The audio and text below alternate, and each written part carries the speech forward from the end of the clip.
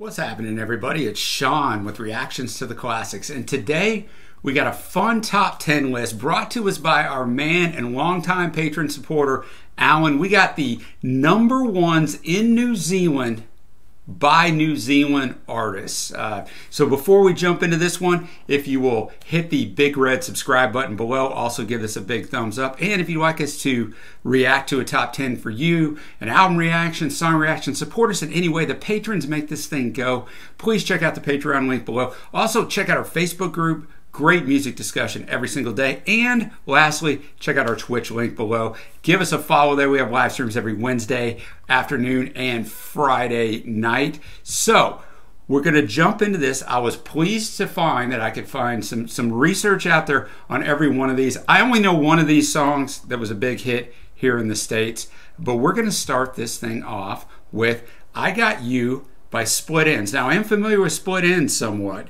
um, because I know I know the incarnations that came out of. it. I know the Finn brothers. I know that sort of stuff, but I don't know this song. It uh, went to number one March 16th of 1980 off the True Colors album from the same year. Their most commercially successful uh, single was written by Neil Finn. At the 1980 Australian Countdown Australian Music Awards, the song won Best Single Record. In 2001, it was voted the 11th best New Zealand song of all time. So, wow, that is some high praise. So, once again, thank you, Alan. And if you're joining us for the first time on these, the music will not be in the video, but there will be a link below if you want to follow along with me. If you just want to know what I think of the songs, just hang around because uh, I'll be right back. And I'll also have the lyrics up on the screen. Let's get after this thing. I Got You by Split Enz. Wow, I really, really like the sound of this one. Uh, it's going to be hard. I got to make a little note here. It's going to be hard for this one not to end up. I picked three favorites at the end of this. Uh, this one's going to be difficult to knock out of that. I should have mentioned at the start, these are in chronological order, not in the order that Alan thinks is 10 through 1. They're just in chronological order, so this one was 1980, so it was the uh, oldest one. But it sounded like 1980 in an absolutely uh, fantastic way. Anthemic chorus. I see here that Watch Mojo in, in 2017 named it the sixth uh, in their top 10 80 songs you forgot were awesome. I, I, can see that. Never heard this one, obviously, but it appears to be about a guy. Uh, Neil is in love with her, maybe a little bit obsessive. Um, you know, I got you, and that's all I want. I won't forget. That's a whole lot. I don't go out, not now that you're in. Sometimes we shout, but that's no problem. I don't know why sometimes I get frightened. You can see my eyes.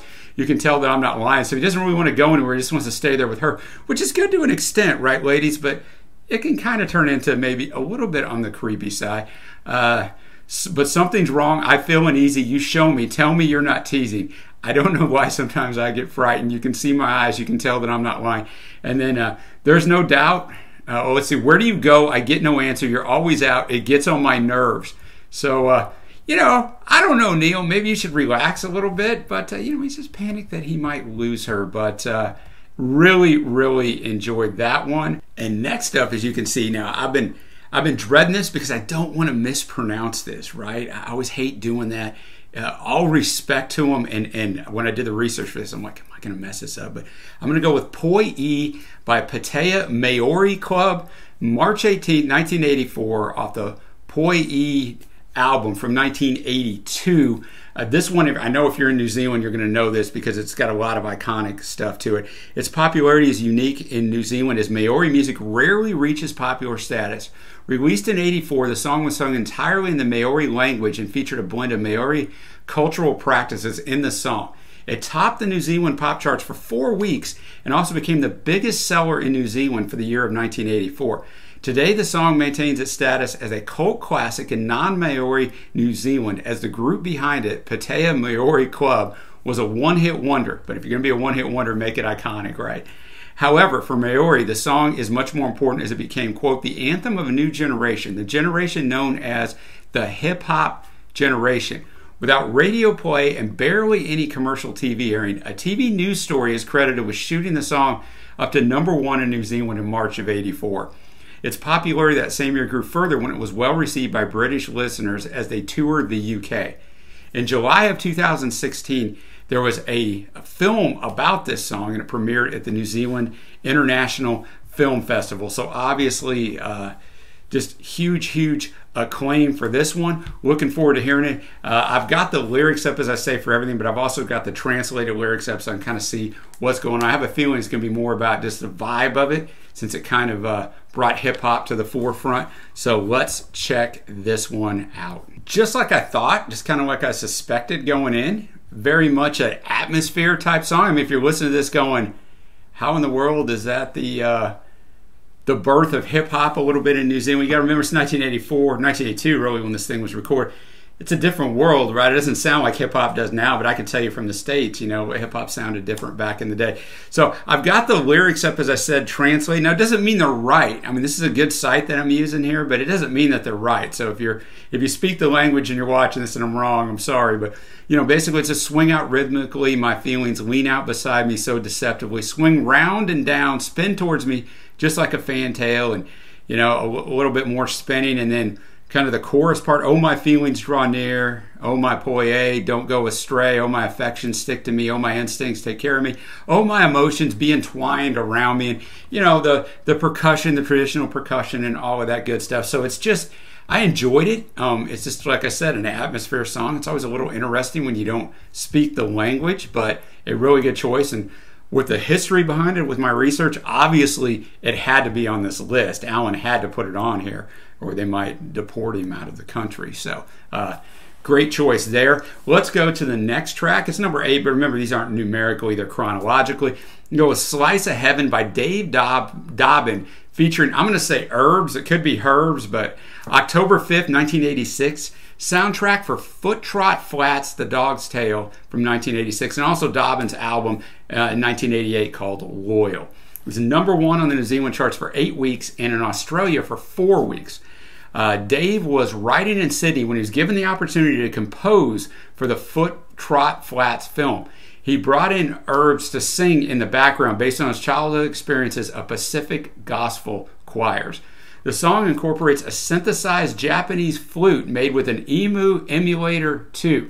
If you know anything about music, you'll know what that means. Uh, the song gained huge exposure in Australia through the Foot Trot Flats trailer being shown before the popular Crocodile Dundee film. It was huge here in the States, too. I remember going to see it as a 15 year old leading to high radio play before the single had been released. Was awarded Best Song at the 1986 New Zealand Music Awards. It was voted number one in 2009 by C4 viewers as New Zealand's favorite song and is often considered an unofficial national anthem of New Zealand, especially after its usage in New Zealand tourism ads in the 80s and 90s. So, just like the previous song that you know, there was a TV story on it and it exploded to popularity. This one was in a trailer before Crocodile Dundee, which I mean, as huge as it was here in America, I can imagine how huge it was over in that part of the world. And it just brings things to uh, to the forefront. You just need that little bitty thing to to bring you to uh, fame and fortune. So, Slice of Heaven there you have a slice of heaven, Dave Dobbin. Totally sounds like something that could be in an animated film. The, the intro, the da da da ba da, just rolling on, and it comes on later on in the song, and just some anthemic stuff, some upbeat, nice instrumentation. Worked well with the little chorus part coming on. Basically, he's just saying that he loves her he's got faith in her. She's this little slice of heaven, that everything's great when he's around her. And just makes you feel good as you're listening to the, to the song. You know, most animated songs that, you know, they're in the movie, animated movies are up tempo, upbeat. You know, it kind of kind of plays along with the genre. And, and this one fits perfectly into that. You know, hey, I got a lot of faith in you. I'll stick with you, kid. That's the bottom line. Yeah, we got a lot of fun. We have a lot of fun, don't we? And heaven has to be with you all the time. Her beauty when the mood gets you down, your bottom lips and you're dragging on the ground, that's when I got to play the clown for you. Black humor made me kick my blues. Howdy, angel, where'd you hide your wings? That sort of stuff is throughout this song. Enjoy this one, a real fun one. Now we're going to get to the song that I know. And if you're if you're in New Zealand or Australia, you're like, yeah, I bet this is the song. And there it is, man. Don't Dream It's Over. Crowded House. We've done a whole album reaction to Crowded House, done some stuff for Alan in this wheelhouse, but know this song quite well. It's one of those songs that absolutely sticks in your head and you wanted to just scream, hey now, hey now. So from April 19, 1987, went to number one. uh, from their self titled 1986 debut album. Fourth single was written by frontman, yep, he's already appeared here before, Neil Finn. Went to number two in the US, became the, becoming the band's biggest international hit. In May 2001, the Australian Performing Rights Association celebrated its 75th anniversary by naming the best New Zealand and best Australian songs of all time, uh, ranked by a panel. This was the number two on the New Zealand list and number seven on the Australian list. High, high praise. Obviously, I know this song quite well. I haven't heard it in forever. Really looking forward to it. Don't dream it's over. Don't dream it's over. Crowded House. Uh, like I said, I know this tune. I love this. I wanted to start belting it out, but I wanted to save you from it if you're watching live along with me. Uh, just a fantastic song. I mentioned it during the, the reaction, but the instrumental break, both between the second third verse and also towards the end, you know, it's either an organ or a synth set to sound like an organ. We did a lot of that back in the 80s. We did a lot of stuff with synths back in the 80s, but a nice little uh, kind of change of pace for this song. Enjoyed that part of it. And you know, the lyrics, there's a little ambig- ambiguity to it say that word 10 times, right? Uh, you know, he's basically telling her, I think, that the world is trying to come between them, but don't let them. You know, hey now, hey now, don't dream it's over. Hey now, hey now, when the world comes in, they come, they come to build a wall between us. We know they won't win. Um, could be a theme for 2020 in the United States, but that's a whole other story. Uh, so he, tells her in the first verse, You'll never see the end of the road while you're traveling with me. Hits that great chorus. Now I'm towing my car. There's a hole in the roof, so that's kind of funny. I mean, is he towing his car because there's a hole in the roof? Because it's still drivable, is it just beat down? But uh, my possessions are causing me suspicion, but there's no proof. In the paper today, tales of war and of waste, but you turn right over to the TV page. In other words, just ignoring what's going on in the world, which sometimes isn't a bad theory. You can't get caught up too much in it. You got to know what's going on, but you can't get caught up too much into it because it will affect your whole life and a lot of those things you don't have any control over. So, just a fantastic tune. Going to be hard to, to knock that out of my uh, my top three at the end. But now we're up to the sixth song, and that one's going to be drum roll, please. Nobody else. This one is by Tex Pistol and Ricky Morris. From October 9th, 1988, it went to number one in New Zealand. From the Nobody Else uh, album in 1988, New Zealand musician brothers Tex Pistol, who's Ian Morris, and Ricky Morris after Tex Pistol had a number one single in 1987 with The Game of Love, Pagan Records head Trevor Reekie convinced Ian to release Nobody Else as the follow up single. It was a romantic ballad written and sung by Morris's younger brother Ricky. At the 1988 New Zealand Music Awards was nominated for Single of the Year, with Ian also nominated for Producer of the Year for the same song, while Ricky won Songwriter of the Year. So let's get after this one. Nobody Else, Tex Pistol, Ricky Morris. Nobody Else by Tex Pistol and Ricky Morris. This is pop sugar turned up to 110. This stuff was so popular, not this song in particular, but this formula uh, in the States from like probably 86 to 88, maybe late 85 to 88. I could see this song, if it was popular in the States, being played at every prom. I don't know if they have proms in New Zealand, but just school events uh, that, that we have for juniors and seniors, a dance. I could see this being played. I could see it being played at weddings and everybody dancing together. The chorus had that just great anthemic, love you so much aspect to it. It did have a nice horn solo in there and did pump up the guitar a little bit at the end. It just is what it is, right? It's a it's a love theme. You got to have those things. It's not necessarily my thing, but I'm I could see why it works so well. It's very well done. So you know, I, I see why it's on this list, and I see why it was so popular. That's going to take us to Trippin' by Push Push. It went to number one. We're going to jump all the way to April 14th, 1991. Great album title, A Trillion Shades of Happy from 1992. The only album they ever released. It was their debut single, went to number one in New Zealand for six weeks, peaked at 25 in Australia. So my question is, it went to number one. It was their debut single. Whatever happened to Push Push? Why is there only one song? Somebody tell me. This is a song I've got to put everything, guys. I'm from the States. This could have come out in 1986. 15 year old Sean would have absolutely been jamming to this. I don't know what Push Push looks like. I could have looked it up on Google, obviously. I'm, I'm imagining this hairband, rocking out. So 1991 would have fit in 1986 in the US perfectly, and I would have been jamming to this thing. It was more about the instrumentation, the style. It's not really about the lyrics. I mean, he's just talking about I wasn't thinking, wasn't looking till I met you. Wasn't looking for love, but he found it. I had no reason. I was out of season when I met you, and then you know that I was tripping out on you, and nice little instrumental breakdown that you got to have in these types of songs. Start out with a little bit of bass, slamming that guitar, and then he just went all in at the end. So a fun song. Definitely enjoyed that one.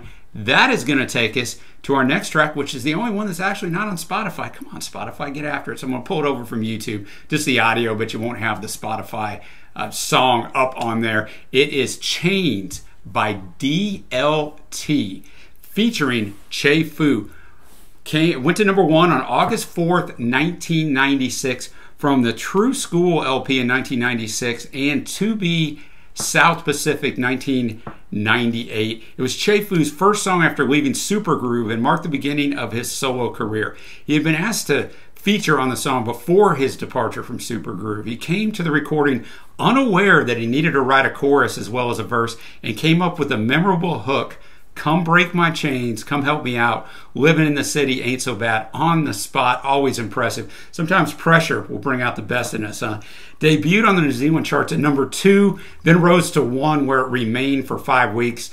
At the 1997 New Zealand Music Awards, won Best Single. Che Fu was awarded Best Male Vocalist for the song. In 2001, it was named as the 21st Best New Zealand Song of all time. Chains by DLT featuring Che Fu. Chains by DLT featuring Che Fu.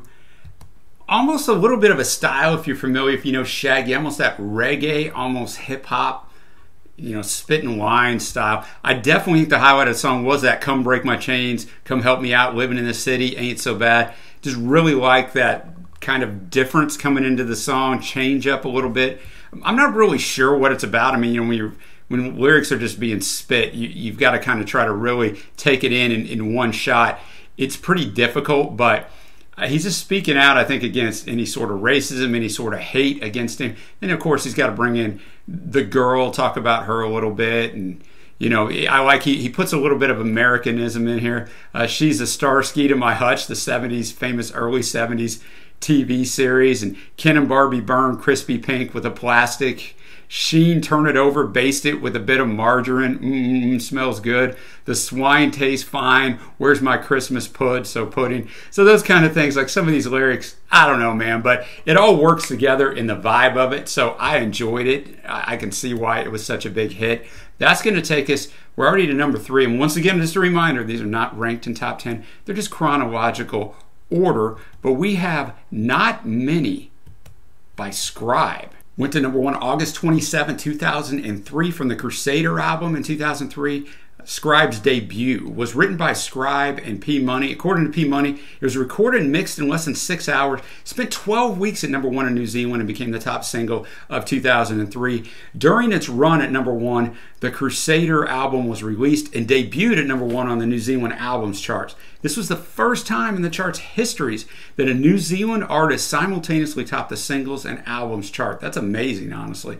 Won the 2004 Silver Scroll and Award for Songwriting in 2010, the list of the top 10 New Zealand singles of the 2000s was compiled. It was the third best selling single of the decade. Let's get after it. Not many by Scribe. Not many by Scribe. Really enjoyed that one. 2003 hip hop, whether it was in New Zealand or whether it was in the States, appears to be very much the same. That is the style. I was into hip hop big time back at that point in my life. He starts out with the little intro, throws a shout out to Welcome to the Crusader to his album. Love it's been a long time coming.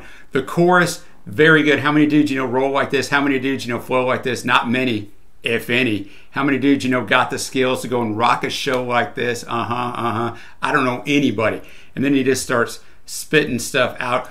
The first verse had a part in there where he sounds so much like Eminem on the track, Forgot About Dre. I mean, he sounds just like him for about eight lines in there. I don't know if that was intentional or not, or just the style of the time, but I definitely heard some Marshall Mathers influence in there. The pre chorus, is, is pretty good. There's check it out, no, check it out, one, check it out, like me, and then he goes into the, the chorus again. It all builds up and spits those lines just at an insane rate. A lot of talent on this guy. Really did enjoy this one. It might, it just might end up on my favorites. We're already to the second one on the list. What do we got? We got Freaks, the radio edit from November 17, 2014. Just a single, not on an album that I could find at least. It's a song by Australian DJ, producer, musician Timmy Trumpet and New Zealand rapper Savage. Top three hit in Australia, charted in other countries such as France, Belgium, Hungary, Sweden, Poland, and the Netherlands. It's the highest selling single of all time on Ministry of Sound Australia and won highest selling single at the 2015 New Zealand Music Awards. It's only 2 minutes 49 seconds. That is quite a bit of acclaim and sales. Let's check it out. Let's check out the Freaks, boys and girls. Well, there you have it. Freaks, Timmy Trumpet featuring Savage. Exactly what you think it would be in a song like this. It's just, it's a party anthem. I can see the more you hear it, the more it sticks in your head. Starts out with Savage in the rap section. He's got that deep voice, just spitting out the bass and the tweeters make the speakers go to war. Ah, the mighty trumpet brings the freaks out to the floor. You know what this is? It's a party anthem. Get out. I said during the reaction, I felt like I should turn the lights down, bring me a smoke machine in here. I'm at the club. Timmy Trumpet comes in on the chorus, tell me, tell me where the freak's at. Kind of goes on with that. Then Savage has a long verse too. It's really the only place where there's a ton of lyrics. Spit some stuff out. We got the speakers pumping Timmy Trumpet for the women with curves. Got that freak flow, freak show. Welcome to the circus. Let the leaders lead. Preachers preach. Welcome to the service just a fun song. I, I, really enjoy it. Does have the trumpet solo in there. You got to have that with Timmy Trumpet. I'm assuming don't know anything about him, but I'm assuming that's uh, that's going to be his calling card with that name. And now we're to the most recent entry and if you know anything about New Zealand music, I'm sure you, you figured this young lady was going to make an appearance on here. And this is her appearance. Green Light by Lorde. Now, I got to tell you, I know who Lorde is. I'm an old guy, but I know who Lorde is. But I did not know. I'm sorry, guys and girls in New Zealand. I didn't know she was from New Zealand. So I would say by far, right now, the most popular export you have maybe there was someone who wasn't on this list by Alan that's super popular, but I knew Crowded House, knew the Finn brothers, partly just because of Alan and some stuff he's brought to us, but a lot of people know Lorde, obviously worldwide famous. This came out in March 13th, or this was number one March 13th of 2017 off the Melodrama album of 2017. Lead single only went to 19 in the US, but it does have a, a weird distinction. It jumped from number 100 where it debuted on the on the Hot 100 US charts to number 19. So an 81 spot jump ties for the largest jump in American chart history. I mean, obviously some songs have debuted higher than that, but to jump that high uh, with several other songs, so that was pretty cool. This is her second album, written and produced by Lorde and Jack Antonoff, who works with a lot of artists, with additional writing by Joel Little and production assistance from Frank Dukes. The lyrics use a quote green light as a street signal metaphor that gives Lorde permission to move on into the future, earn that Silver Scroll Award that I mentioned earlier, and appeared on various year end and decade end lists. Lorde said this about the song. The song is really about those moments, kind of immediately after your life changes, and about all the silly little things that you gravitate towards. It sounds so happy, and then the lyrics are so intense, obviously. So we enjoy those types of songs at the channel where if you're not really paying attention, you're vibing along to the music. Oh, this is great. It's up tempo, it's upbeat, but then you look at the lyrics and I'm like, wow, that isn't really uh, what it's about at all. So let's jump into Lorde, Green Light, then I'll talk about the list and my three favorites.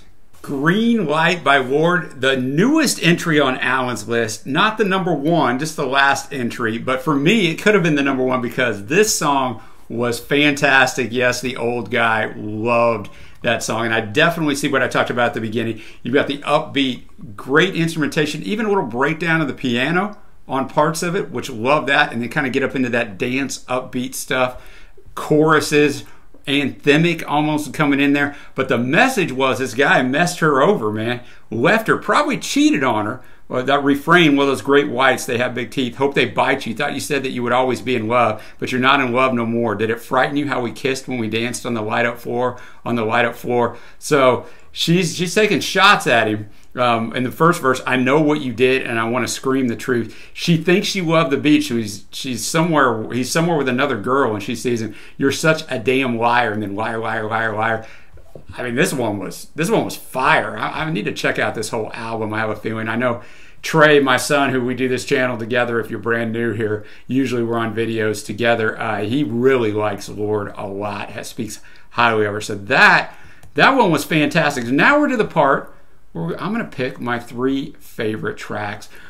I will say Great list put together, Alan, from a variety of decades. This has to be very difficult to do to, to try to bring in 10 songs, number one songs in New Zealand by New Zealand artists. You had a ton of stuff to choose from, I'm sure. So I think you did a great job bringing in various styles. My faves are going to be, and I said it at the start, I Got You by Split Enz all the way back from 1980. Just love Neil Finn and the sound. On that on that note, go to Don't Dream It's Over by Crowded House. Kind of a cheat because I know that song. And when you know a song, it's hard for it not to stick out as a favorite. And I'm going to go honorable mention Trippin' by Push Push, just for what it is. You know, brings me back to the yesteryear of hair bands, which I actually liked. And Not Many by Scribe. Thought that was pretty darn good. 2003 hip hop. Those are my honorable mentions. And my other favorite, of course, Green Light by Lorde, My favorite song on this list. So the Finns and Lorde rule it for me. Once again, thank you, Alan. Really appreciate it. Thank you, everybody, for watching. If you're in New Zealand, or even if you're not, let me know your favorite New Zealand tunes, your favorite New Zealand artists. Who am I missing out on? Who did you wish could have been on this list if it was 15 or 20 songs? So, once again, thanks for joining me. I will see you soon.